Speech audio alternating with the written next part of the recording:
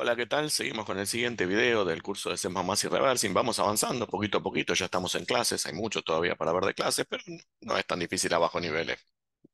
no es tan, no es tan complicado porque ya vimos estructura y vimos que a bajo nivel una clase se ve más o menos, se ve como una estructura, así que más o menos lo que estamos viendo eh, ya lo vimos un poco antes, algunas cosas no, como vamos a ver hoy los constructores, eso no lo vimos, pero bueno, ahora lo vamos a ver. Bueno, vamos a compartir la pantalla. Ahí estamos. Bueno, lo primero que les quería decir era algo que faltó del capítulo anterior 28, que me quedó. Recordamos que había tres tipos de especificadores de acceso. Cuando tenías una clase podía tener este especificador public o private o protected. Nosotros habíamos usado en el, en el video anterior public y private y nos faltaba definir qué es protected. Bueno, acá lo vamos a definir. Bueno, private es, eh, es un miembro de una clase que es solo accesible por los propios miembros de la clase y por en general por objetos de la misma clase. O sea, si yo tengo una clase eh, Pepito, todos los objetos de la clase Pepito pueden acceder a, los miembros, a, lo que esté acá dentro de private, sean funciones, sean, variables, sea lo que sea que está acá, puedo acceder cualquier objeto de la misma clase y digamos, eh, cualquier objeto que no sea de esta clase no va a poder acceder, por eso es privado, solamente objetos que se crearon, eh, que sean del tipo de esta clase. Público, lo que esté en la parte pública, cualquier objeto puede, desde cualquier lugar se puede acceder a, a la parte pública porque es público, no es necesariamente que sea un objeto de la misma clase. Y cualquier miembro público de una clase es accesible de cualquier parte donde sea accesible el propio objeto, o sea, de cualquier lugar que no sea específicamente de la misma clase. Eso es público, ¿no es cierto? Y protegido eh, es parecido a privado, pero eh, también con respecto a las clases derivadas se comporta como público. O sea que si tenés varias clases que heredan, ahí también esas clases que heredan también podrían acceder al objeto. En en el privado no, es solamente la misma clase no las que heredan, pero acá las que heredan también pueden acceder, el, protected. Las que más se usan son private y public, ¿no? Pero si tenés clases eh, que se heredan de la principal y necesitas que se mantenga el acceso dentro de todas esas herencias, eh, entonces se utiliza protected.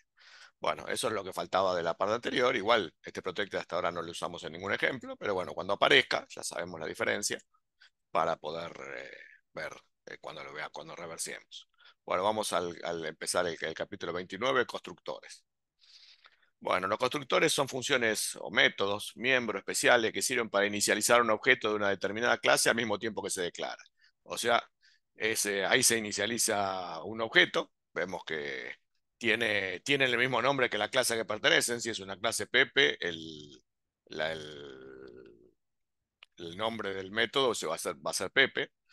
Eh, no tienen valor de retorno, eh, no retornan ningún valor, no tienen tipo de retorno, no retornan ningún valor, y no pueden ser heredados, eh, y por último deben ser públicos. No tiene sentido declarar un constructor como privado, ya que se usan siempre del exterior de la clase, ni tampoco como protegido, ya que no puede ser heredado. O sea que estas son las características de un constructor. Bueno, ahora vamos a ver el, el constructor. Por ejemplo, acá tenemos un ejemplo. Es el mismo ejemplo que antes habíamos visto, eh, de pareja. Y acá vemos que acá tenemos el, código del anterior y el código del nuevo. Este es el último que vimos. Recordemos que a este, que era el, que estaba en la página, le habíamos agregado estas tres llamadas que no estaban. Bueno, pero digamos, si yo las saco para hacerlo igual, vemos que la diferencia, esto es todo igual. Vemos que esta parte es todo igual, el main. Eh, este pareja guarda es igual. Eh, está acá definido, lo único que está acá definido afuera y acá está definido adentro. Este está definido adentro, sea, está declarado y está definido dentro del mismo, dentro de la misma clase. Acá está definido afuera. A mí me gusta más definir las cosas afuera porque quedan más visibles los métodos. O sea, cuáles son los métodos están declarados acá y, y definidos afuera. Es más fácil de encontrar que estar buscando el código por acá, ¿no? Me, me resulta más fácil esto, ¿no? De ponerlo fuera bueno, entonces vemos que tiene, eh, bueno, la declaración, vemos que tiene las dos funciones li y guarda, acá está li y guarda, eh, la, declaración y las definiciones están afuera, pero es lo mismo, acá está, acá están acá, li, está afuera y guarda estaba adentro, acá están las dos afuera, ¿no es cierto? Lee y guarda. Y vemos una función más que hay acá, que está en la parte pública, que es pareja. Como dijimos, es el constructor. La, la función que tiene el mismo nombre que la clase es el constructor. Y por supuesto, desde afuera hay que llamarla con, en este caso, el nombre, el nombre de la clase, doble dos puntos, el nombre de la clase. Vemos que no tiene valor de retorno, todas las otras sí. Vemos que esta tiene valor de retorno, estas tienen valor de retorno. Acá en la declaración están los valores de retorno y esta no tiene valor de retorno. Vemos que acá no se coloca porque es un constructor. Y los argumentos que tiene, acá está la, la declaración y acá está la, la, definición, ¿no es cierto? Acá está. Vemos que lo único que hace es que cuando vos lo inicializás, los valores que inicializás del objeto de A2 y de B2 se eh, guardan en las variables A y B, que eran, eh, digamos, las variables privadas, ¿no? Del, de, cada, de cada objeto que crees. O sea que este A y B lo inicializás en el mismo momento que, que digamos, que creas el objeto. ¿Cierto? Ahora vamos a ver el código un poquito. Ah, me acordé que esta estaba, esta estaba, ¿no? Una de las le habíamos agregado dos llamados a guarda y esta estaba. O sea que guarda en este eh, eh, estaba realizando la función que acá realiza el mismo constructor. O sea que le mandamos guarda 1232 después de que creamos un objeto sin, inicializar nada. Y guarda lo que hacía era que, era que a, a 2, el valor este, lo, hacía A igual a A2 y B igual a B2, o sea que hacía la inicialización de, de las variables A y B mediante un método externo que no es el, constructor. Mientras que acá, este ya lo vamos a cerrar porque no lo vamos a usar ahora, vamos a abrir este. O sea, mientras que acá eh, la misma inicialización se realiza eh, en, el momento de, realizar la, la, creación del objeto. O sea que en vez de hacer pareja par solamente y que después me arreglo para inicializar, ya el mismo, el, mismo, en el mismo momento de la creación del objeto le tengo que pasar los argumentos del constructor. O sea que en este caso vemos que tiene dos enteros el constructor y tengo que pasarle el 12 y el 3, bueno, en este caso 12, 32 para inicializar los dos enteros. Si yo no hago esto y, quiero crear un objeto pareja par 2 Vemos que ahí el, el, copilot me, está diciendo que le, tengo que pasar algo de argumento porque yo lo hago así, vemos que me da error, porque dice que no hay constructor, necesita un constructor para, para pareja, digamos, otro constructor distinto que no tenga este, estos argumentos, o sea, que, que no se le pase nada, que es una tontería, pero vemos que podría ocurrir, digamos, que eh, o poner otro constructor distinto que eh, tenga un solo argumento, ¿no es cierto? Por ejemplo, este. Si yo lo hago así, vemos que también me dice que no hay eh, ningún constructor que tenga un solo argumento. Hay, hay uno, que, este que tiene dos enteros y este se le pasa un entero. No existe, pero se puede hacer, ¿no es cierto? Poner dos constructores. Por ahora vamos a venir a este ejemplo y vemos acá entonces, que cuando yo creo el objeto, ya le paso los argumentos necesarios para el constructor, ¿no es cierto? Que es estos, estos dos argumentos, A2 y B2, y el constructor, o sea, esto implica la llamada al constructor, o sea, aunque no diga acá que yo estoy, yo, yo estoy creando el objeto, pero como le estoy pasando valores, eso le hace que el compilador diga, bueno, ¿hay un constructor para pasarle dos enteros? Bueno, si hay un constructor para pasar los enteros, entonces llamo al constructor y ahí inicializo los dos valores. El 12 lo pongo acá, el 32 lo pongo acá, y ya queda A y B para el objeto par 1, o sea, par 1 de A va a ser, eh, eh, va a ser 12 eh, y par 1 de B va a ser 32, pero aparte tengo que tener en cuenta que no puedo llamarlos desde afuera, par 1 de A y par 1 de B, porque son privados estos datos. Por lo tanto, si yo acá pongo par 1 de A, como hemos visto, par 1, perdón, par 1, vemos que no me da la opción de, llamar, eh, digamos, cuando pongo el punto me salen las opciones de la, digamos, la que, lo que puedo colocar, guarda y leave, puedo llamar a guarda, puedo llamar a leave, pero no me sale para uno de A ni para uno de B. Acá si pongo A, para 1, punto A, pero, ahí está. Vemos que me dice que, eh, que es inaccesible. Miembro de pareja A, declarado a línea 13, es inaccesible porque es privado, o sea que esto no lo puedo hacer. Entonces, por eso no puedo imprimir acá directo abajo, como habíamos visto, poner acá par 1 de A. No puedo, ¿no cierto?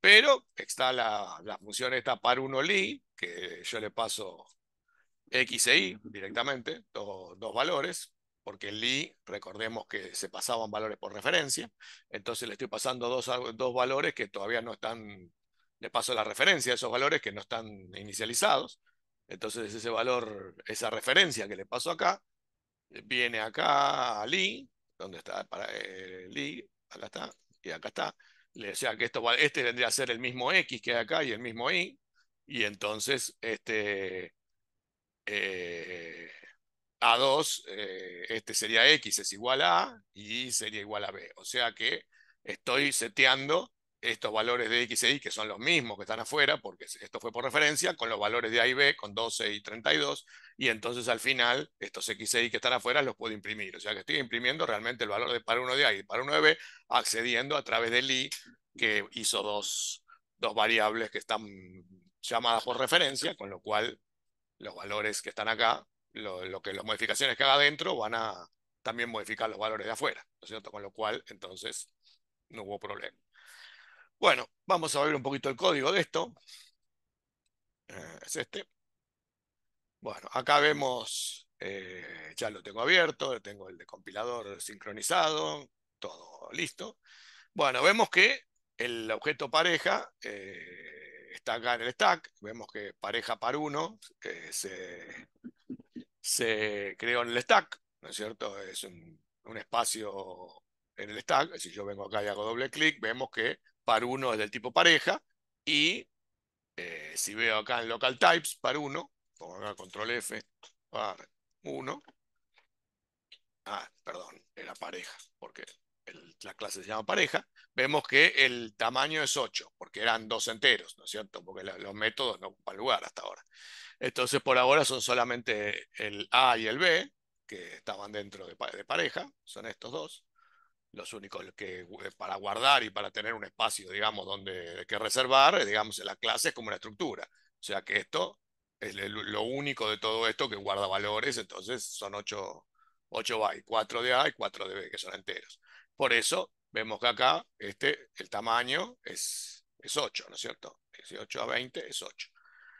Bueno, entonces ese, ese espacio vacío se le pasa la dirección eh, como primer argumento. Recordemos que cualquier método, inclusive el, constructor, se le pasa siempre el primer argumento, que es el, el puntero al objeto que voy a inicializar. En este caso, el puntero a par 1. Vemos que con LEA obtengo la dirección de par 1 y ese es el primer argumento. A pesar de que acá no figure, recuerden que se pasa, ¿no es cierto? Acá vemos que está el, primer argumento que es el, está en RCX, que es el, dis, vendría a ser, o sea, el objeto al cual pertenece que estamos llamando, que tiene que ser del tipo pareja, obviamente, y los dos argumentos 12 y 32. Acá vemos que no lo muestra eso, ¿no? Y, y cuando entramos ahí, cuando entramos a la función pareja-pareja, vemos que acá también nos muestra int, int, pero arriba, en, clarito, un poco más gris, grisadito, vemos que sí nos muestra otros argumentos. El primer argumento, que es un puntero a, un objeto de la clase pareja, obviamente, es esto, this, es un puntero al objeto de la clase pareja, y los dos enteros para inicializar. Acá no están, y acá sí, ¿no? El puntero a la clase pareja, y este es el A2 y el B2, ¿no es cierto? Bueno, entonces vamos a, a mirar un poquito esto. Bueno, vemos que el argumento 2 es el 12 y el argumento B2 es el 32. Esos son los dos, los dos valores que tenemos para inicializar A y B. Recordemos que esto pasaba el puntero RCX y esto adentro inicializaba A y B. Entonces, bueno, entonces vamos a poner eh, acá, vamos a poner, vamos a llamar esto P a objeto pareja es un puntero a un objeto del tipo pareja. Esto le pongo bien, le pongo así porque esto puede ser, puede ser, ah, puede haber creaciones de varios objetos del tipo pareja. Entonces el inicializador puede ser llamado con par 1, con par 2, con par 3, con un montón de objetos que sean del tipo, del tipo pareja, ¿no es cierto? que, sean de la clase pareja. Por lo tanto, esto es genérico para cualquier puntero objeto eh, pareja. En este caso sería par 1. Y acá sería eh, las dos constantes, ¿no? Este sería el A2 y B2 serían las dos constantes, que bueno, no le voy a poner el valor porque es genérico, ¿no es cierto? Y acá vemos que dice, entonces el, primer, el primer eh, eh, argumento RCX es el puntero de la clase pareja, que lo guarda acá en el dis. Esto es, como sabemos, está debajo del returnadre, por lo tanto, son, este está dentro del shadow space, ¿no es cierto? El primer de, de QWord, este es el, un de Word y quedan los cuatro bytes, digamos, de padding, y después este otro de Word, y también, por supuesto, no va a mostrar el padding que hay para abajo. Entonces todo esto está en el shadow space para guardar las variables que pasé por, por el registro. RCX acá entonces es este dis, entonces le voy a poner el mismo nombre, puntero objeto pareja. Ahí está, ese puntero objeto pareja. Y A2 y B2 son las dos constantes, A2 y B2, ¿no es cierto? Eh, bueno, entonces levanta el puntero objeto pareja, eh, RAX, levanta a 2 a RCX, entonces A2 lo va a guardar en el contenido del puntero objeto pareja. O sea, el contenido sería, apretamos la T, elegimos pareja, vemos que es A, porque el primer, eh, o sea, dentro del espacio de memoria del, objeto eh, que estaba en el stack, el primer valor que, que había era la A, ¿cierto? Y después abajo está B. Bueno, acá vuelve a levantar el objeto mismo y acá apretó T de vuelta y ese es B, ¿no es cierto? ¿Ve qué? Porque es más 4, RAX más 4. Entonces, RAX más 4 está 4 más abajo que el otro. Este es X, recordemos que es un puntero una dirección del stack. Y entonces al, donde está ubicado el objeto, en la dirección del objeto, y entonces los primeros 4 bytes son pareja de A y los, segundos 4 bytes son pareja de B. O sea, ¿qué hace esto? No? Levanta el puntero de objeto pareja eh, y, le, en A guarda 2 y en B guarda B2, o sea, el 12 y el 32, ¿no es cierto? Eso creo que queda claro, ¿no es cierto? Bueno, vemos que en RAX esto no está definido un valor de retorno, pero en RAX siempre se devuelve. Normalmente esto que en RAX queda, aunque no se devuelve, el mismo puntero que se pasa como primer argumento en RCX, el puntero al DIS, o sea, el DIS, eh, devuelve siempre RAX. Bueno, entonces esto es un constructor. Puede haber más cosas dentro del constructor, ya vamos a ir viendo, pero por ahora esto es un constructor sencillo que lo que hace es inicializar las variables, inicializar variables o lo que yo quiera hacer, ¿no es cierto?, el constructor. Bueno, o una vez que el constructor está, ya inicializó la variable 32, es A2 en el RC, eh, esto va A y esto va a B. Bueno, después ya vimos, ¿no? Li, entonces tenés también el, primero, el primer puntero, acá, a pesar de que no lo muestra, lo, en los métodos en id acá no se muestra, el primer argumento que es el dis, o sea, que eh, no, no confundir, no confundirse, porque acá parecería que este es RCX y este es RDX. No, RCX que no figura acá es el DIS, y este, A2, este es A2, y este sería P2, ¿no es cierto? Entonces entramos acá y vemos,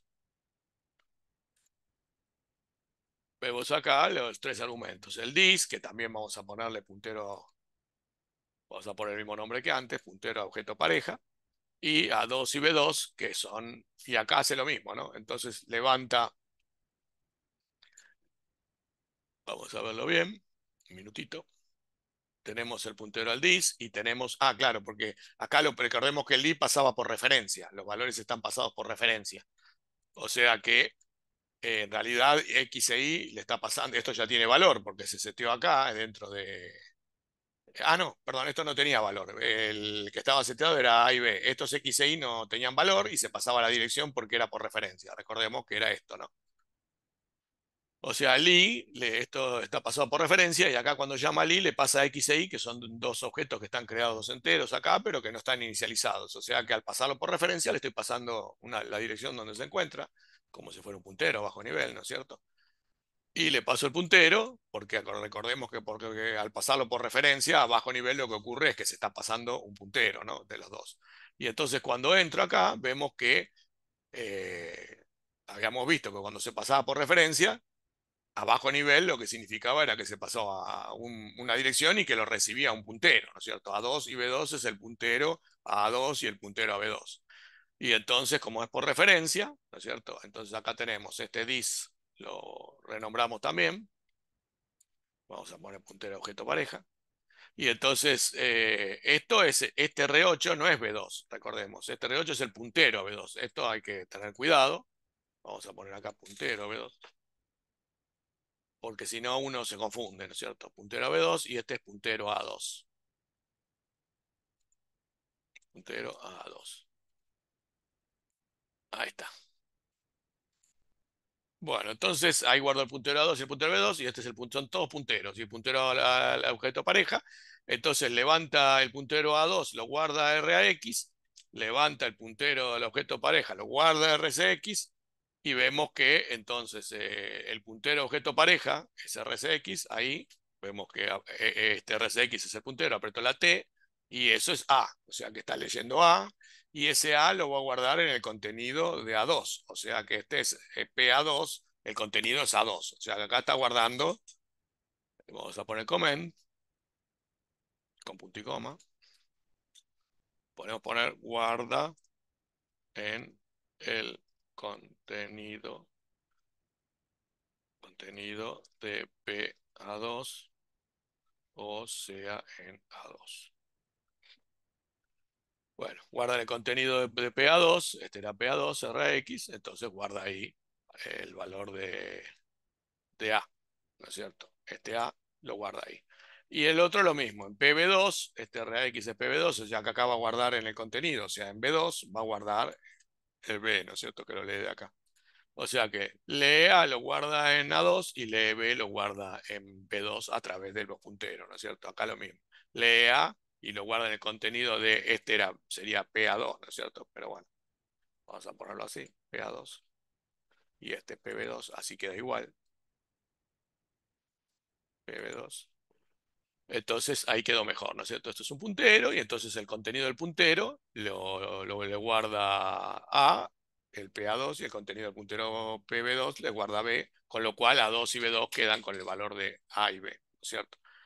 O sea que eh, conceptualmente es lo mismo que habíamos visto acá, ya que el I, recordemos que esto A2 y B2, como está pasando referencia, eh, son los valores, eh, acá le está pasando por referencia los valores X e Y, y bueno, como este A2 es X y este A2 es Y, en realidad lo que estoy haciendo es guardar A y B en, X e Y que están fuera, ¿cierto? Pero como acá le pasamos la dirección, o sea, como se pasó la dirección, lo que vos modifiques está modificando el objeto que está fuera, ¿no es cierto? Bueno, volvemos. O sea que este x e y que nosotros pasamos la dirección quedó este x con el valor de a y este y con el valor de b, ¿cierto? A través de la función li. Bueno, y después empieza a imprimir, ¿no? Par 1 de a imprime x, par 1 de b imprime y, ya que no puede acceder a par 1 de b, pero como ya tiene el mismo valor, lo imprime acá y después sale, ¿no es cierto? O sea que este es el mismo ejemplo que habíamos visto antes, pero con un constructor. En vez de tener una función como guarda, acá no se usa, vemos que una función como guarda que, que hacía de constructor, tenemos un real constructor que cuando llames, digamos, a la función, lo va a inicializar directamente en el constructor. Y lo tenés que llamar pasándole los mismos tipos y de datos que tiene el constructor. En este caso, dos enteros. Le tenés que pasar dos enteros. Bueno. Vemos esto que es lo que hemos dicho la otra vez. Si, no definimos un constructor, el compilador creará uno por defecto, sin parámetros que no hará absolutamente nada, que después posiblemente cuando lo veamos en IDA ni siquiera exista, porque como no se llama ni hace nada, ni existe, a bajo nivel por ahí no lo, verá, no lo veremos. Eh, si la clase posee un constructor, el llamado es obligatorio, eh, o sea que tiene que realizarse utilizando este constructor. O sea que si yo, como hice antes, si tenía un constructor y tenía que pasarle dos enteros, si yo quiero declarar esto, no le gusta porque tengo que usar obligatoriamente ese constructor. Por ejemplo, las siguientes declaraciones son ilegales si hay un constructor, ¿no es cierto? Esto no puede hacer porque tengo que llamarle a construir el objeto con los argumentos del constructor. En este caso no tiene argumentos y no hay habiendo un constructor, le tenés que pasar eso, los mismos argumentos que en este caso eran dos enteros. La primera, por el constructor de pareja, requiere dos parámetros y no se suministran. Y la segunda es ilegal por otro motivo más complejo. Aunque existiese un constructor sin parámetros, no se debe usar esta forma para declarar el objeto, ya que el compilador lo considera como la declaración del prototipo de una función que, devuelve un objeto del tipo pareja y no admite parámetros. O sea, esto es como si fuera, eh, estás declarando una función par uno, ¿no es cierto? Esta función que no tiene argumentos y devuelve el, objeto pareja. O sea que esto no es, no es correcto sintácticamente. Y las siguientes declaraciones son válidas. Como vimos, cualquier objeto que creemos, par 1, par 2 del tipo pareja, necesitamos cuando lo creamos pasarle los argumentos del constructor. ¿Cierto? Que son estos, en este caso, para par 1, 12, 43, este 12 terminará en A, este 43 terminará en B, y acá lo mismo, par 2, este 45 terminará y este 34 terminará en B, porque el constructor lo que hace es, es setear esos valores en este caso. Bueno, inicialización de objetos. Vimos que en este caso, por ejemplo, el constructor inicializaba la variable A y la variable B con A2 y B2 y este era como lo usamos en el, en el ejemplo anterior. Pero también podemos crear un constructor donde se inicializan los objetos de esta forma, donde hemos visto que antes de la llave donde se puede ejecutar otras cosas, se inicializan los, objetos, se inicializa A con A2 y B con B2, o sea, tiene esta forma de escribir. O sea, antes de la llave se colocan dos puntos y ahí se inicializan los objetos que tenga, digamos, que inicializarse. En este caso A, por ejemplo, se inicializa con A2 y B se inicializa con B2. O sea, esto es similar a esto, exactamente similar. Y acá, por supuesto, si quiero ejecutar algún código cuando se inicializa, bueno, lo pondré acá, ¿no es cierto? Pero de esta forma inicializa los objetos estos que eran privados con los valores de los argumentos, ¿no? Que le paso a 2 y B2, este pasaría A y este pasaría a B. Yo ahora tengo acá el ejemplo donde reemplacé, directamente quité la, definición, porque total está todo el código acá, y lo coloqué todo acá, declaración y definición junta, y vemos que esta función pareja, que es el constructor, no tiene valor de, retorno, y vemos eh, entonces que lo que hace, es lo mismo que hacía antes, A2 lo asigna A y B2 lo asigna a B y no, no ejecuta más nada. Y, tiene la misma forma que vimos, con los dos puntitos, a partir de los dos puntitos están todas las inicializaciones y después las inicializaciones, perdón, y después están las llaves del código que se va a ejecutar, que de este lado es nada. Bueno, lo compilé y si lo veo a bajo nivel, veo que es exactamente lo mismo que antes, no cambió absolutamente nada. Vemos acá que es lo mismo, ¿no es cierto? Ahí está sincronizado. Vemos que es lo mismo que antes. Bueno. Ahí está. Vemos que es exactamente igual, los mismos argumentos. Vemos que el primer, el primer argumento en RCX es siempre el dis, o sea, el, objeto que pertenece a la clase. Y exactamente igual que antes, o sea, esto es una forma de escribir, una forma de notación en C++ que no cambia nada bajo nivel, es exactamente lo mismo, no lo vamos a hacer de vuelta porque es exactamente igual. Bueno, Después seguimos con sobrecarga de constructores. Bueno, lo mismo que el mismo sobrecarga antes se puede aplicar a los constructores. Vemos que hay dos, acá dos métodos pareja con constructores, este es pareja y este pareja, simplemente tienen distintos argumentos. Vemos que como son funciones también pueden definirse varios constructores para cada clase. El constructor puede sobrecargarse. La única limitación, como en todos los casos de sobrecarga, es que no pueden declararse varios constructores con el mismo número y el mismo tipo de argumento. O sea, tiene que haber alguna diferencia para que el compilador diga, bueno, este es el, que, el constructor que se usa cuando se pasa con dos enteros y este es el constructor que se usa cuando no se pasa ningún argumento. O sea, este tiene argumentos dos enteros y este no tiene argumento. En el caso de este habíamos visto que inicializaba A con A2 y B con B2 y en este caso no tiene argumentos, inicia A con el valor 0 y B con el valor 0. O sea, este inicializa a 0 los eh, los dos valores. Bueno, lo vamos a ver acá. ¿No? Vemos acá el constructor que teníamos antes y ahora este, ¿no? Tenemos dos constructores. El, método este no tiene valor de retorno, no tiene argumentos acá adentro, y entonces como no tiene argumentos, lo que hace es directamente A lo pone a cero y B lo pone a cero. Eso es todo. Bueno, y acá vemos entonces que hay dos objetos en este, clase, en este caso. Vemos que está pareja 1, que se lo inicializa con el, con el constructor de dos enteros, o sea, como antes, 2 y 32. Bueno, esto en realidad tendría que ir acá abajo. Pero bueno, ya está hecho. Esto, tiene que ir acá. Esta definición tiene que ir arriba, pero igual funciona. Bueno, tenemos ahora cuatro enteros, X, e Y, C y D. X e Y son los dos enteros para, para pasar por referencia a Li, para obtener los valores de A y B.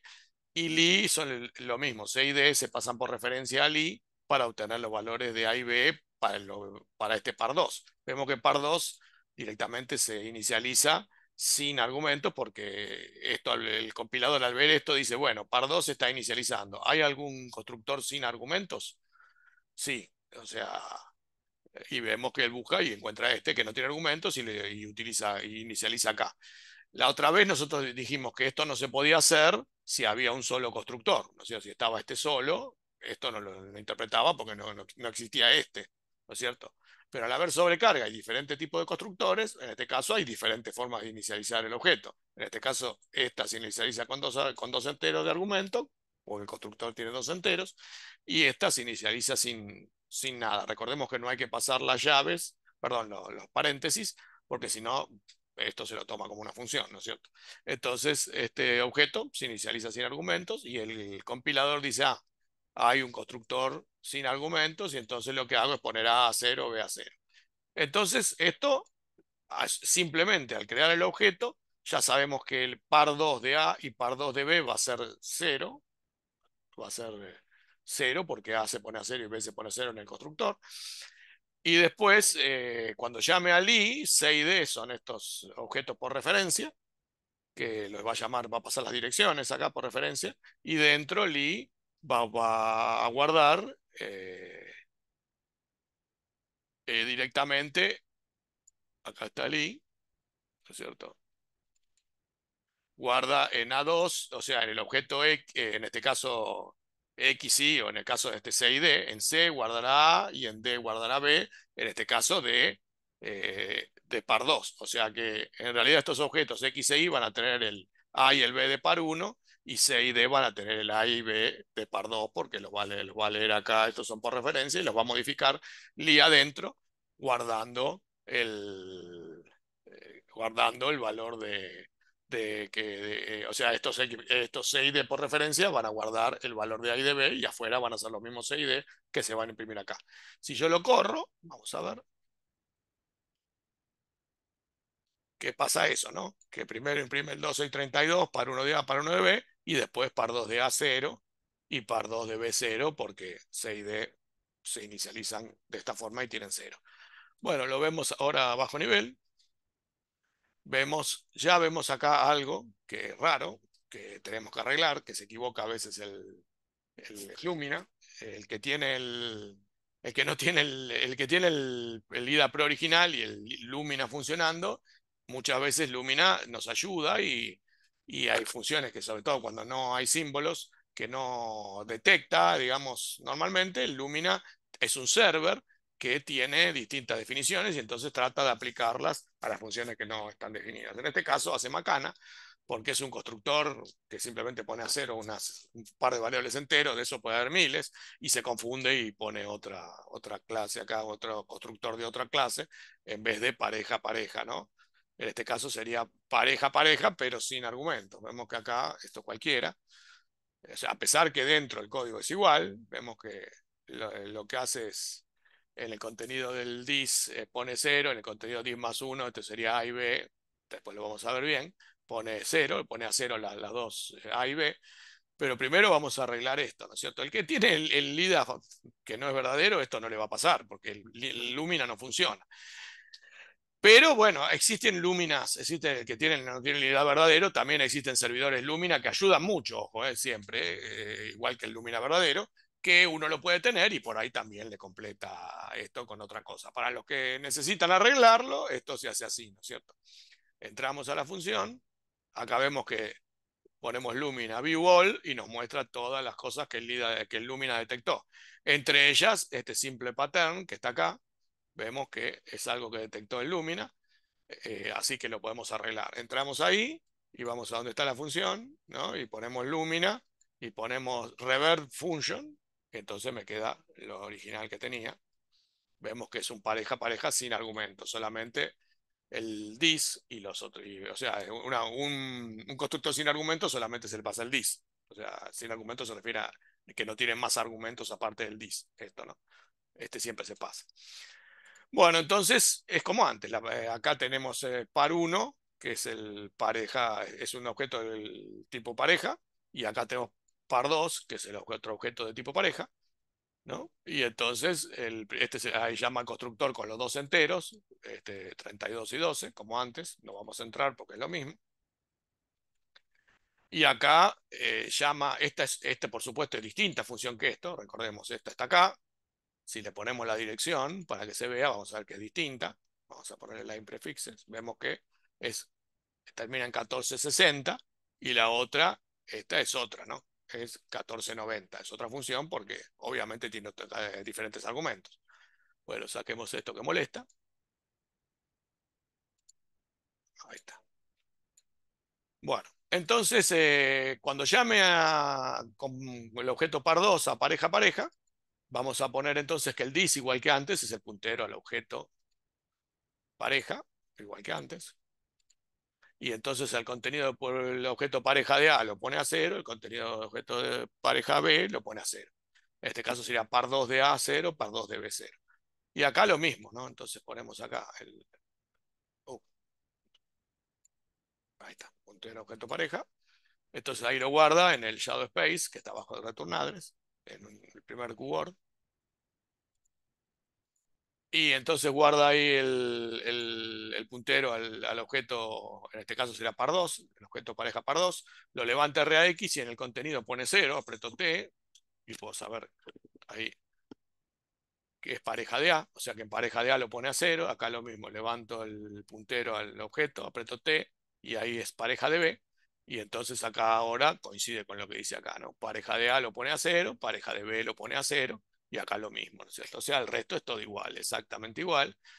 Eh, bueno, tenemos en este caso lo mismo que llama li, pero en este caso con los punteros de C y D, por lo tanto C y D van a tener, cuando venga acá adentro, vamos a tener este que va a ser el puntero, eh, vamos a renombrarlo, también puntero a objeto pareja, y entonces lee la, pero en este caso de corresponde, este puntero a objeto pareja es par 2, ¿cierto? Porque recordemos que venía de este, la dirección de par 2, ¿no es cierto? Entonces, ahora este par 2 de A lo guarda en el contenido de C y par 2 de B lo guarda en el contenido de D y entonces C y D ya van a tener par 2 eh, de A y par 2 de B. O sea, C y D tienen par 2 de A y par 2 de B. Y después se imprime par 1 de A, par 1 de B, par 2 de A, imprime C, por supuesto, y par 2 de B, imprime D. O sea que funciona. Bueno, el caso anterior se podría también, para no sobrecargar con valores que se pueden inicializar en un mismo constructor, se podría hacer un solo constructor que tenga la posibilidad de pasarle dos argumentos. Vemos que tiene a, este, A2 y B2 como argumentos, igual que antes, pero acá ya están inicializados a cero. O sea que si uno no le pasa valor, tiene valores por defecto. O sea que si yo le paso valor, va a usar los valores que le paso. Y si no, no le paso nada, utilizo cero. O sea que me permite las dos posibilidades de, creación de objetos, pasándole valores o pasándole, eh, digamos, eh, sin pasarle valores o incluso pasándole un solo valor, porque puedo pasarle uno y el otro, como no lo paso, lo toma por defecto. Vamos a ver el ejemplo ahora bajo nivel. Un minuto. Bueno, acá tenemos el código. Vemos que el constructor, en este caso es un constructor con dos argumentos, A2 y B2. Igual que antes, lo que hace es asignar a A el valor de A2 y B el valor de B2 si es que tiene argumentos y si no tiene argumentos lo pone a cero directamente. O sea que ya no necesitamos hacer dos constructores para el caso anterior.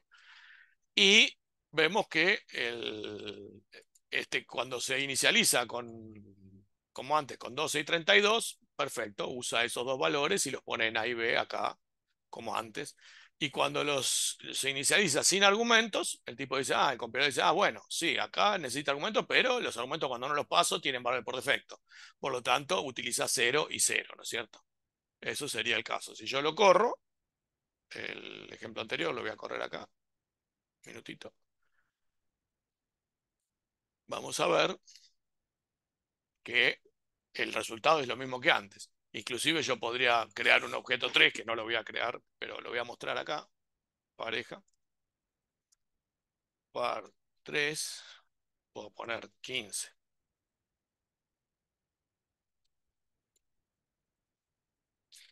En este caso, 15 iría al primer argumento, porque es el, siempre, acuérdense que se utiliza el, el primer argumento por defecto. Sería 15 sería 2 y el otro sería 0. A ver, corrámoslo, a ver si es cierto.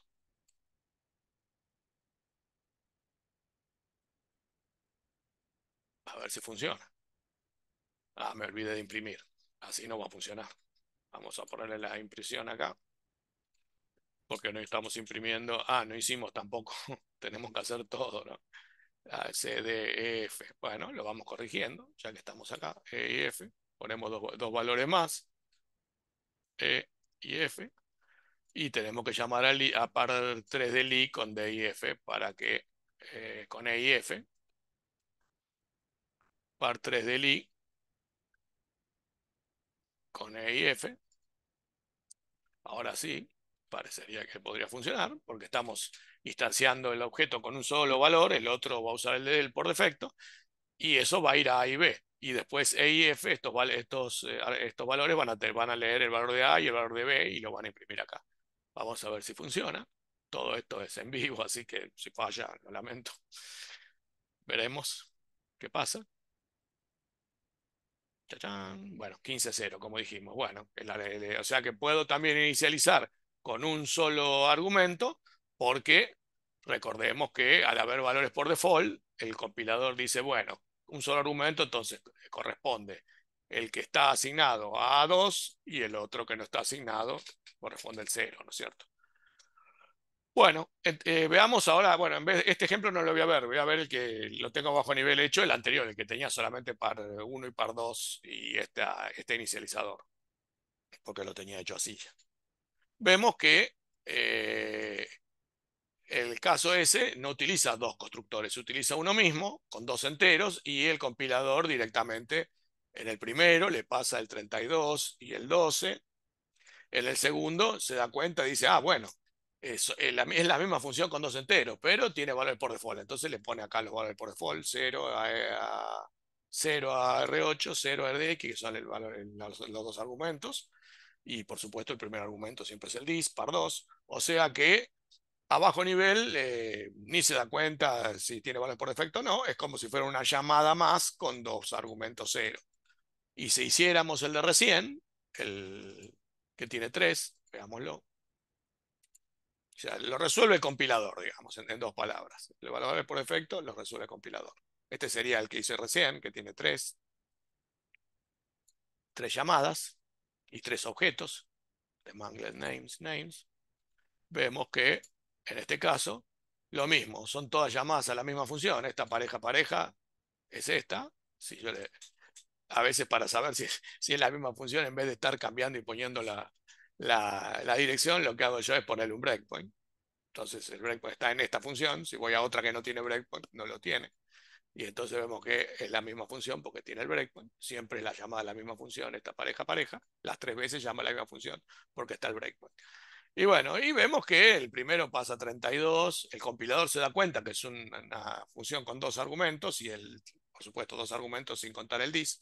Y acá le pasa 0, 0 y acá le pasa el 15 como primer argumento y el 0 como segundo argumento. O sea que ya se da cuenta que tiene un valor por defecto y los coloca acá. Siempre es la misma función. O sea, el compilador resuelve los valores por defecto.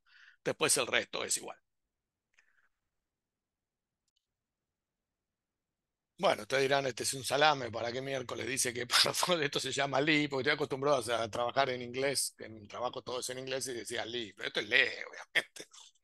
Qué, tonto, recién caigo que claro, se llama Lee porque lee los valores de par 1 de A, pero del par que sea de A y de B, y los lee para asignarlos a los a los a, la, a este X e Y, ¿no?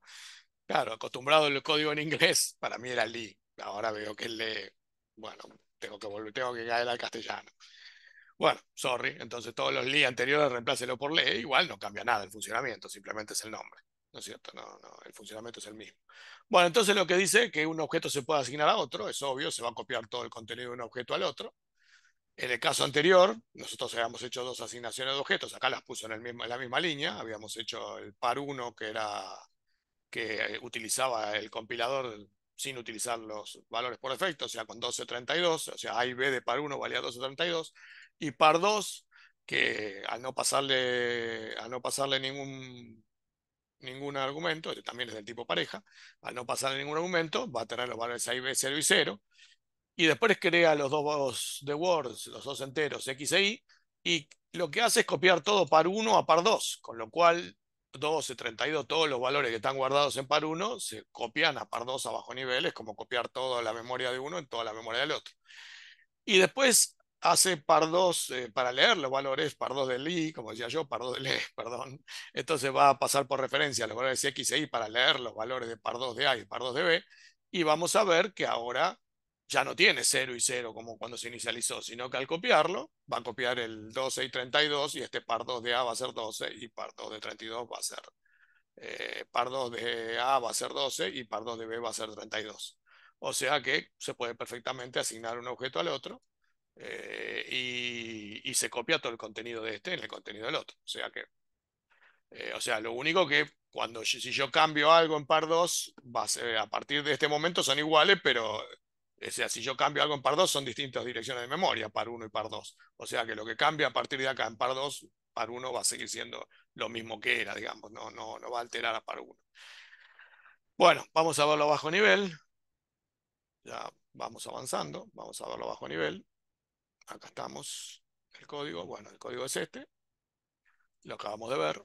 Es el mismo constructor de antes con los valores por, por defecto y los dos argumentos y tenemos, eh, antes yo había puesto par 2 pareja, eh, directamente eh, separado en otra línea, pero poniendo coma se puede poner la misma línea, o sea que acá tengo el primer objeto par 1 que utiliza el constructor este, como dijimos, este constructor, el mismo, porque es el único que hay, pero lo utiliza con los dos argumentos y el otro sin argumentos, o sea que tiene A a, a y B a cero. Y después, bueno, asigna par 1 a par 2. O sea, par 2 tiene, se hace igual a par 1. Se copia todo par 1 en par 2. O sea que, ahora cuando yo haga lee de par 2, o sea, voy a, voy a llamar a lee con estos dos argumentos que le paso por referencia.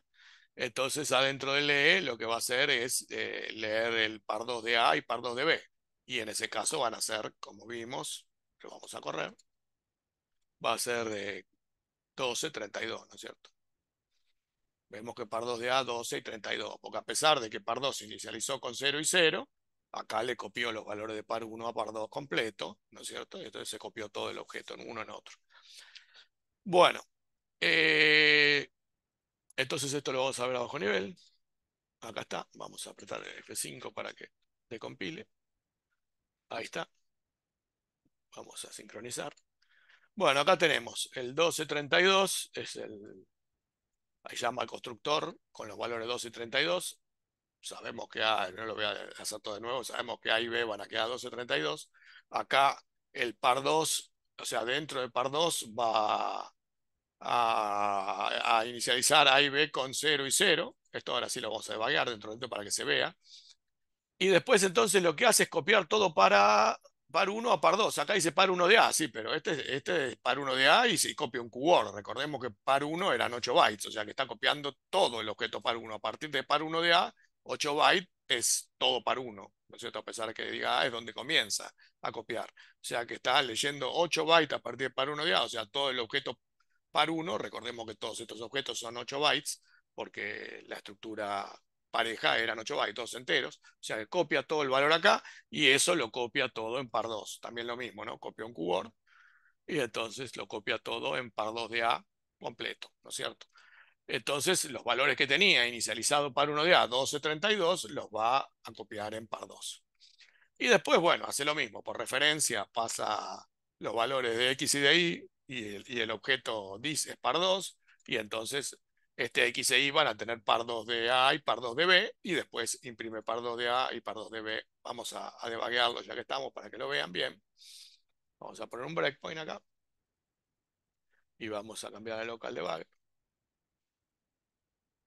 Vamos a correrlo.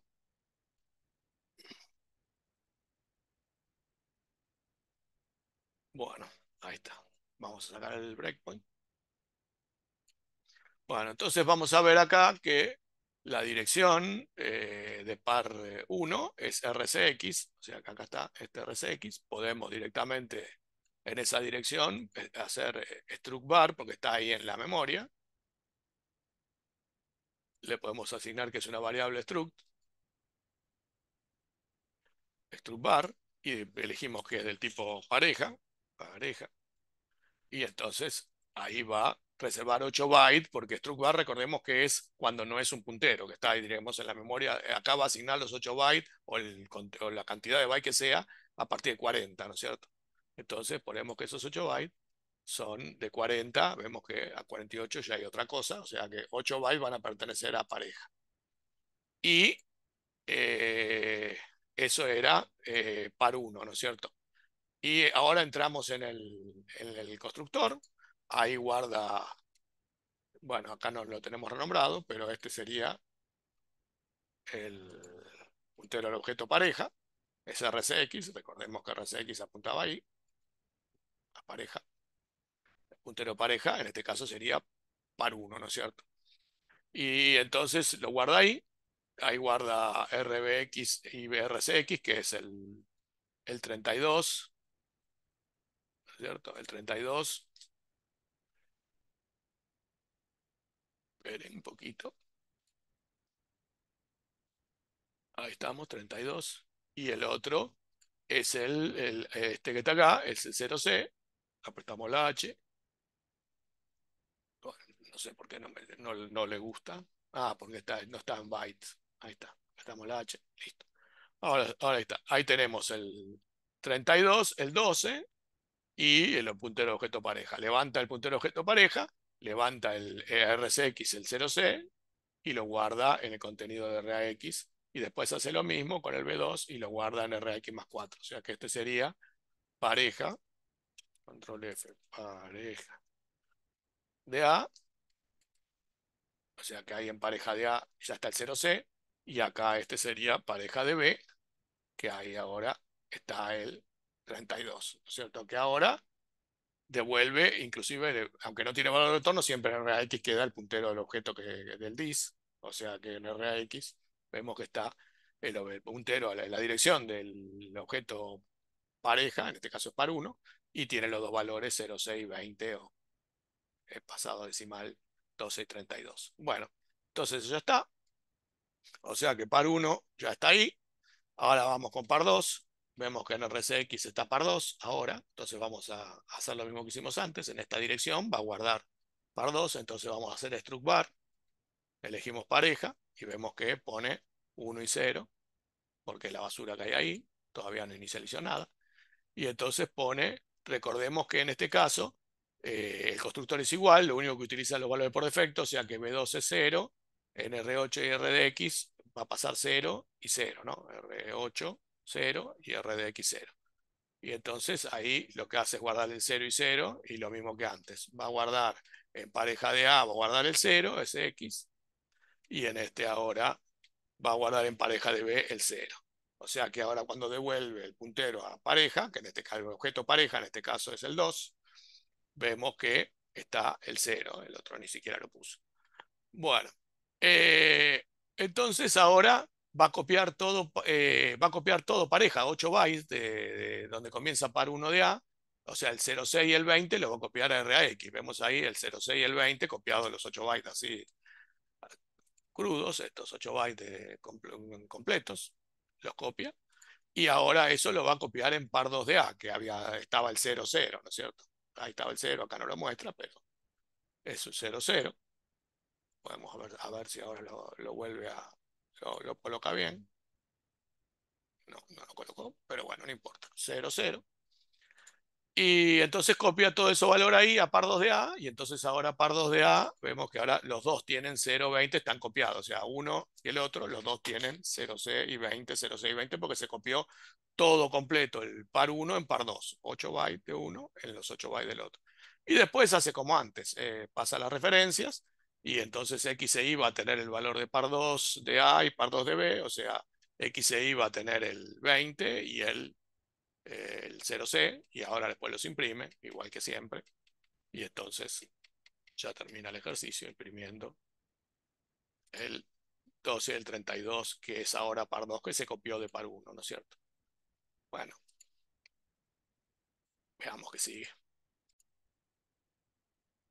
Bueno, nos queda el último punto de, este, de, este, de, esta parte de la teoría, que es el constructor copia. Vemos que está, aparte del constructor común, hay un constructor más, que es el constructor copia, que en este caso los constructores copia eh, crean un objeto a partir de otro existente, o sea que copia es lo que hicimos antes, de copiar par 2 igual a par 1, directamente hay un constructor que también lo hace, que si vos llamas a, la función, es, es una, en realidad eso es una sobrecarga del constructor anterior, pareja, y entonces el argumento es simplemente, un, por referencia, un objeto de, la clase pareja, ¿no es cierto?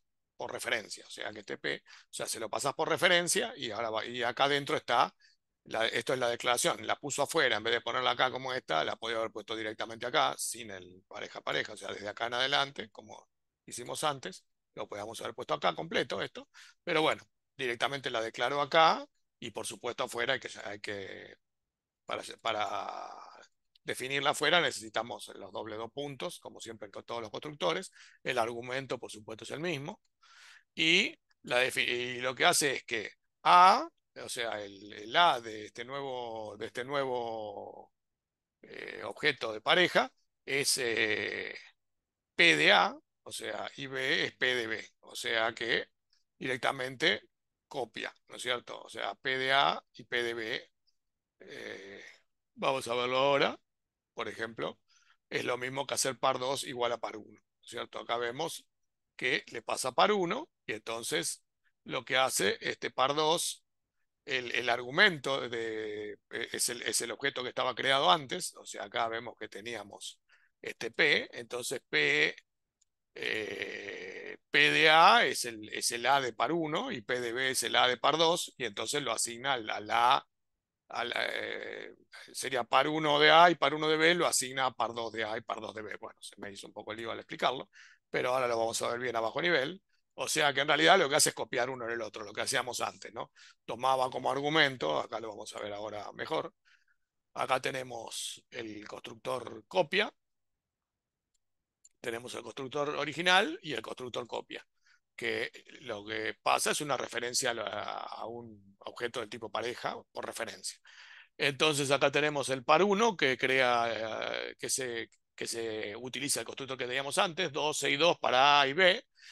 Y este par 2 se le pasa eh, eh, par 1, o sea, un objeto del tipo, del tipo pareja, y lo que va a hacer va a copiar todo el contenido de par 1 a par 2, ¿no es cierto? Y esto se pasa por referencia, obviamente, al pasarle el nombre solo, recordemos que tanto en estructura como en clases, si no, si no decimos nada, esto se está pasando por referencia, ¿no es cierto? Y aparte lo sabemos, porque acá lo dice, ¿no? Es por referencia. Bueno, y entonces ese par 2, ¿qué hace? Vamos, eh, eh, cuando llama, cuando instancia par 2, ¿qué hace? Llama al, al, al constructor copia y este constructor copia lo que hace es agarrar este, este P es par 1, par 1 de A se lo asigna al A nuevo, ¿no es cierto? Al, al, A de par 2. Y par 1 de B se lo asigna a B, o sea, al B de par 2. Entonces, esto es copiar, es lo mismo que hicimos antes, copiar.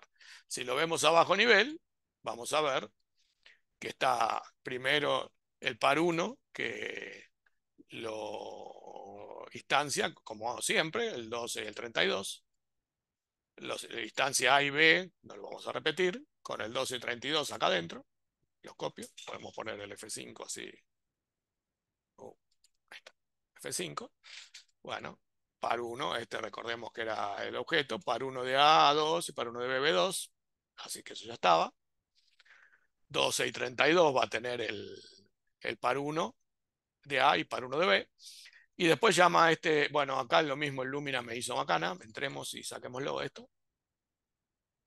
Lumina Revert Function, y ahí me queda igual, eh, como estaba por los símbolos, o sea, pareja, pareja, llamando como con una referencia a un objeto pareja, ¿no es cierto? Pues en este caso, vemos que el objeto pareja es el, eh, eh, o sea, el dis es el par 2, que siempre pasa, pasa por RX, que acá no figura.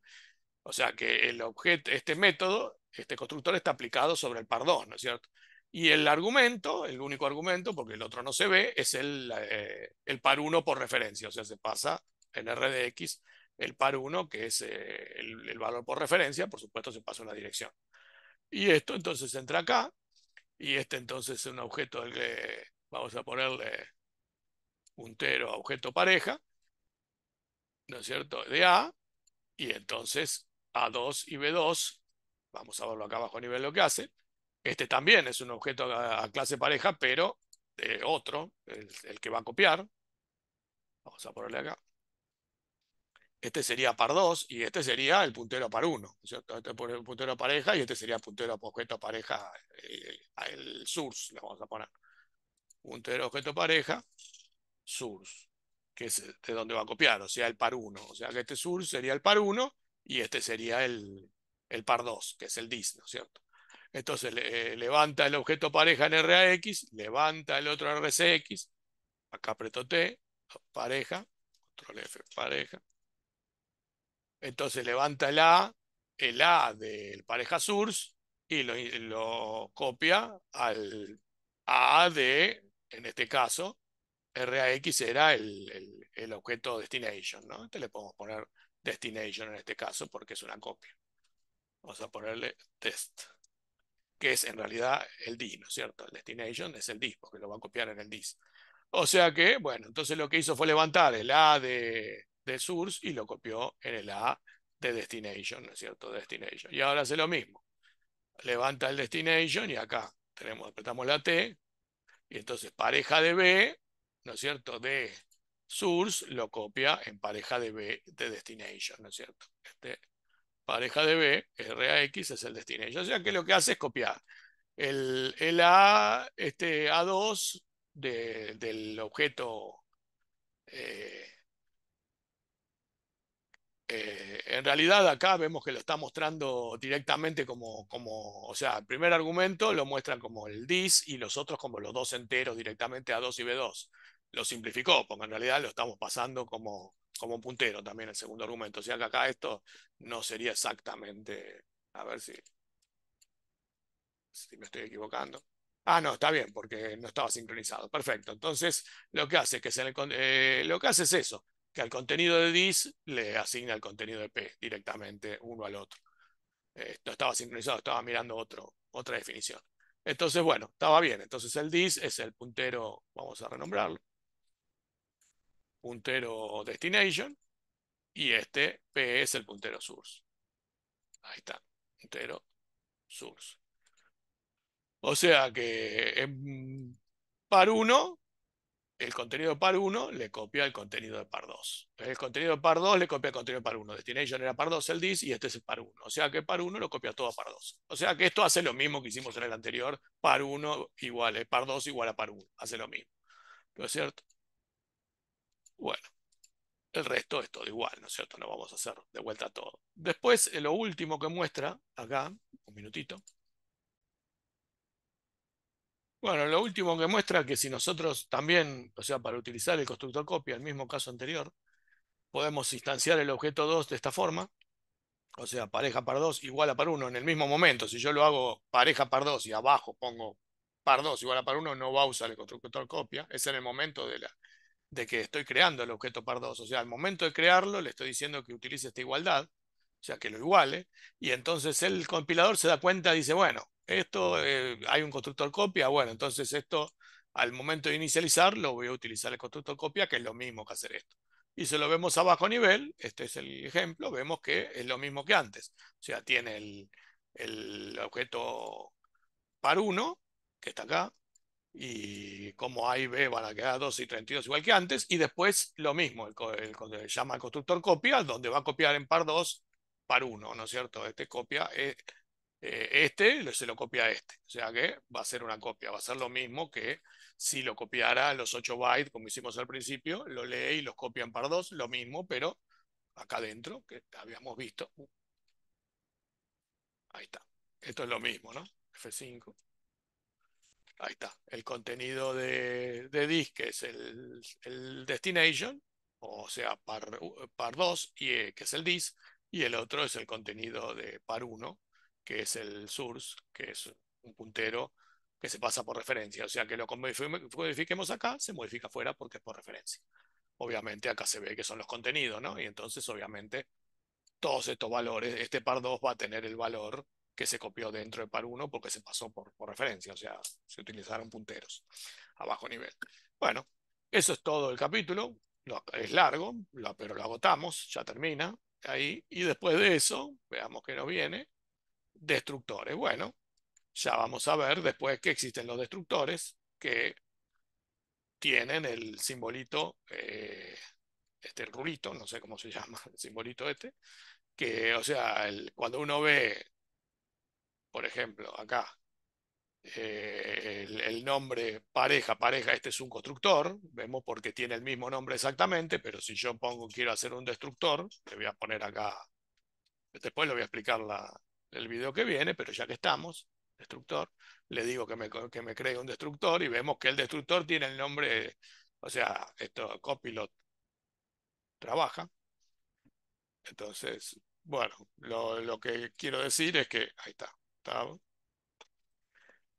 bueno, me lo puso comentado, que no está definido ahí arriba, bueno, acá hay que hacerlo, ¿no? Está así, ahí está completo, ¿no? Y falta definirlo acá, ¿no? destruyendo el objeto. Bueno, pero lo, bueno, lo vamos a ver después, que la diferencia entre el constructor y el destructor es que este, el nombre es eh, directamente el mismo de la clase y este tiene un rulito delante, ¿no es cierto? El destructor. Ya lo vamos a ver en la próxima vez. Después vamos a ver bien cómo se hace. Bueno, nada más, este fue un video bastante largo, eh, pero tiene sus ejemplos, sus cosas y los vimos casi todos, creo que todos. Vamos, entonces nos vemos en el próximo video. Espero que podamos seguir, seguir eh, adelante. Vamos bien, creo que vamos bien. Y vamos avanzando poco a poco. Bueno, nos vemos. Chao, hasta el próximo video.